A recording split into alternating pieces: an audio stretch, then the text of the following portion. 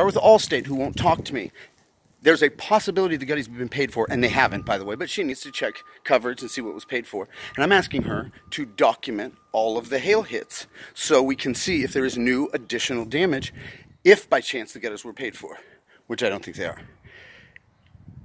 But no one will talk to me. No one will do it. But I'll go do it, and I'll document it, and we'll get it to the right people, and this will be approved, as it always is with this company, who wants to deny, delay, and underpay for fair and legitimate damage. And ridiculous premiums, I might add. But that's why customer service, they are literally, Consumer Reports, the worst insurance company year in and year out. Berkshire Hathaway, in and of themselves, is wildly inconsistent. And I don't know if we get a drone next week or a, a ladder assist who called the damage who's not licensed to adjust a claim in the state of Texas that I know of. But we'll find out. 210-8751. What is it? It doesn't matter what his number is.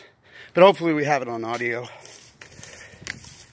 Damage to the fence, craziness.